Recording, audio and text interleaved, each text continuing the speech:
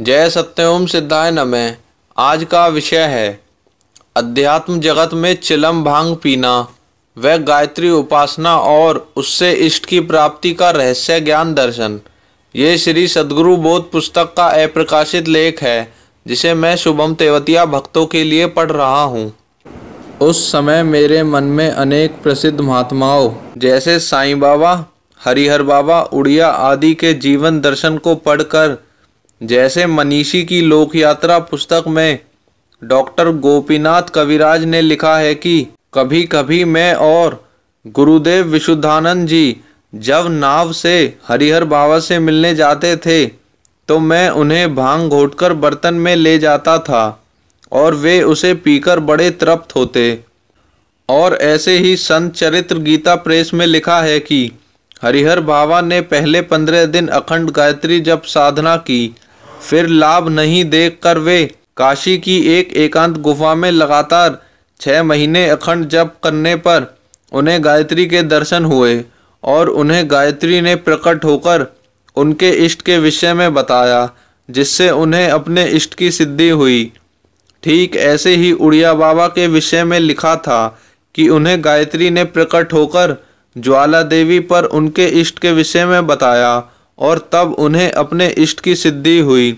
और उस काल के हमारे क्षेत्र के निवासी अनेक वृद्ध भक्तों ने भी मुझे अपने ऐसे ही अनुभव इन संतों के विषय में बताए। ऐसे ही महाराष्ट्र के प्रसिद्ध संत योगी गजानन महाराज भी जब शे गाँव आए, तब उसके कुछ काल उपरांत उनके एक भक्त काशी क्षेत्र से आकर उसने अपनी मनसा आजीवन चिलम पिलाने की रखी, जो उन्होंने पीकर पूरी करी। और वे कहते थे कि पूर्व जन्म की कोई भी अपूर्ण इच्छा की पूर्ति योगी को भी आगामी जन्म में करनी पड़ती है।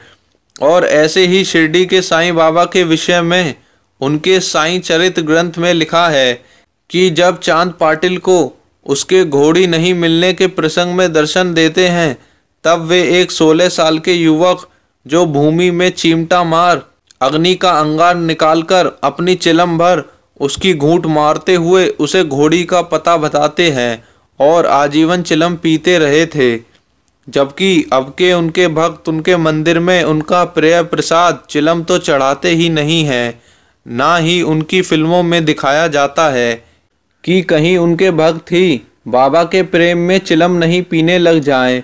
ऐसे ही अनेक लोग मेरे आसपास और सैदूर क्षेत्रों तक यही सब बीड़ी भाँग चिलम पीकर लोगों के भूत भविष्य बताते हुए गद्दी लगाते थे और अभी हैं। उनमें कितने सत्य हैं और प्रसिद्ध हैं केवल उनका उल्लेख किया है और आलोचना विषय नहीं है। यो ये मेरे सामने स्पष्ट था कि ये लोग इतने समाधि संपन्न और चमत्कारिक होकर भी कोई भाँग पीता था तो कोई चिलम पीता था, जबकि ये एक दुव्यसन ही है, तथा कि जब जिस संत को एक बार समाधि अवस्था प्राप्त हो गई हो तो वो उसके उपरांत भी इस प्रकार के भाँग धूमप्रान चिलम का आजीवन पीने का क्या औचित्य है? जिसे एक बार आत्म आनंद की प्राप्ति हो गई, वो क्यों कृत्रिम आनंद प्राप्ति के विषय को अपनाएगा? अनेक तर्क बनते हैं, परंतु मूल प्रश्न का उत्तर नहीं मिला। साथ ही मैंने पढ़ा और इनके प्राचीन भक्तों से सहमुख सुना कि जैसे हरिहर बाबा और उड़िया बाबा। इन्होंने पहले गायत्री सिद्धि की, तब ज्वाला देवी तीर्थ पर इन्हें गायत्री शक्ति ने प्रकट होकर इनके इष्ट के विषय में बताया। तब उस इष्ट की सिद्धि कर ये लोक सिद्ध हुए। तब प्रश्न बनता है कि क्या गायत्री स्वयं में सिद्धि नहीं है? ये साधक को उसके इष्ट मार्ग के विषय में मात्र पथ प्रदर्शक है, तथा तभी ये वेद और उनके मंत्रों की कुंजी है। तभी भगवान विश्वामित्र को सर्वप्रथम गायत्री मंत्र और उसकी शक्ति का आत्म साक्षात्कार हुआ था। परंतु ये गायत्री शक्ति ने उनकी भी महाराज सत्यव्रत यानी त्रिशंकु की शय शरीर स्वर्ग जाने और विश्वामित्र द्वारा भेजने की मनोकामना को जब पूर्ण करने में असामर्थ्यता प्रकट की, तब विश्वामित्र जी ने गायत्री शक्ति को शाप देकर कीलित कर दिया। फिर जगत कल्याण के लिए ही उन्होंने गायत्री शक्ति को पुनः अपनी आत्मशक्ति से उत्कीलन कर मुक्त किया था कि जो भी प्रातः, मध्य, साय और रात्रि के चारों पहर में निम्न विधि से गायत्री का उत्कीलन करके जप करेगा, तब ये उसे संसारिक और आध्यात्मिक संसार के मनोरथों को संपूर्ण करने में सहायक होगी। यो यहाँ, वो सही स्वरूप की उत्कीलन विधि कहीं नहीं संज्ञान में आई कि वो विधि है क्या। यही सब जानने को मैंने उस समय अपने नित्य हनुमान चालीसा के पाठों को बंद कर केवल गायत्री का अनुष्ठान करने के विषय में ठानी।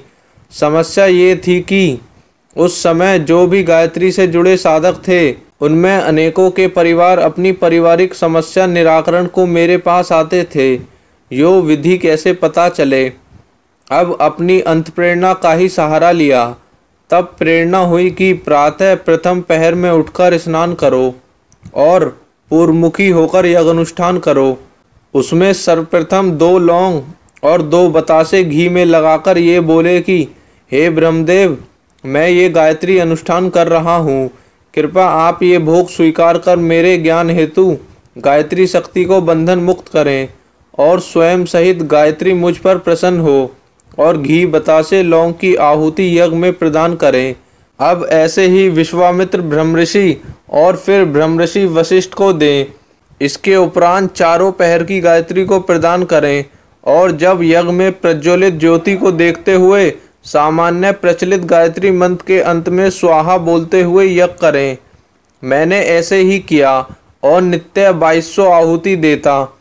और दिन और रात्रि में स्पष्ट और धीरे धीरे गायत्री मंत्र जपता रहता हुआ सवा लाख जप का संकल्प किया था। तब और कोई आरती या चालीसा या स्रोत पाठ या अन्य किसी भी देवी देव का स्मरण आदि नहीं करता था और दैनिक संकट निवारण गद्दी भी देखता था। तब मुझे 24 सितंबर 2002 दिन मंगलवार, तब श्राद्ध चल रहे हैं। उसकी प्रातः ध्यान दर्शन हुए कि मैं एक पुस्तक विक्रेता के यहाँ गया हूँ और वहाँ मैंने उसकी अलवारी में सिद्ध संत नाम से उड़िया बाबा, साईं बाबा, हरिहर बाबा लिखे नामों वाली पुस्तकें देखी। मैंने सिद्ध संत नामक प्राचीन सी लगने वाली एक पुस्तक को निकाला और उसे खोला तो उसमें अनेक श्रृंखलाबद्ध रंगविहीन चित्र थे, जिनमें इन सभी संतों के चमत्कार करते अद्भुत सामर्थ्य को दिखाया गया था। मैंने उन चित्रों को छुआ तो वे जैसे अपने ऊपर आई धूल को झाड़ते हुए सजीव होते चले गए। इधर मैंने पृष्ठ बदला तो उल्टे हाथ पर साईं बाबा आदि के चमत्कारिक चित्र थे और सीधे हाथ के सफ़ेद पृष्ठ पर एक काली शाही से लिखा था कि इन्होंने गायत्री साधना के उपरांत इन्हें अपने इष्ट भैरव की सिद्धि हुई और इस लिखे के नीचे लाल शाही से अंडरलाइन हो रही थी। जैसे ये सत्य है। ये दर्शन देख मैं ध्यान से उठ बैठा और तब चिंतन से पता चला कि ये भैरव सिद्धि के उपयोग में भाँग या चिलम पीते थे। दूसरा ये चिंतन पक्का हुआ कि गायत्री मंत्र एक प्रकार से वेद रूपी मंत्रों की कुंजी मात्र है, जिससे वो ताला खुलता है, जिसे वेद या ज्ञान के मंत्र को आप जपना चाहते हो, लेकिन ये स्वयं में एक सिद्धि ही है। परम सिद्धि नहीं, यानी ब्रह्म सिद्धि नहीं है। ये मार्गदर्शक है आपके लक्ष्य की, और इसके उपरांत भी मैं अपने संकल्प अनुसार जप करता रहा, तब के आगामी घटना और विषय आगामी कहूँगा। यो यहाँ भक्त स्मरण रखें कि किसी भी इष्ट की साधना करें तो उसके लिए सहज रूप से सहज शब्दों में पुकारें, और आपकी प्रार्थना के उपरांत जो भी अर्पण करोगे वो अवश्य फलीभूत होता है। और साथ ही प्रत्येक मंत्र की या गायत्री का उच्चारण वर्तमान उपलब्ध उच्चारणों से भिन्न है। मैंने जो उच्चारण को अंतकरण से प्राप्त किया, वो एक एक शब्द को स्पष्ट और वैदिक गायन से ही जपने से लाभ प्राप्त होता है। तो यही जानना गुरु और शिष्य परंपरा कहलाती है। यो, जो गुरु बताए उसे ध्यान से स्मरण करके जब ध्यान करना चाहिए। और गुरु नहीं तो ईश्वर से प्रार्थना करो। जो कि आत्म प्रार्थना भी कहलाती है, क्योंकि जापक और प्रश्नकर्ता भी तुम हो, और उसके उत्तरकर्ता भी अपनी आत्मा में होने से स्वयं ही हो। यही ज्ञान द्वैत से अद्वैत कहलाता है। ये सब बहुत सघन साधनाओं के उपरांत जानने को मिलता है, और यहाँ स्मरण रखे कि इन किसी भी महात्माओं की आलोचना का विषय लेख नहीं है, ना उद्देश्य है। केवल अपनी आध्यात्मिक दर्शन चिंतन का उल्लेख किया है। जय सत्य ओम सिद्धाय नमः।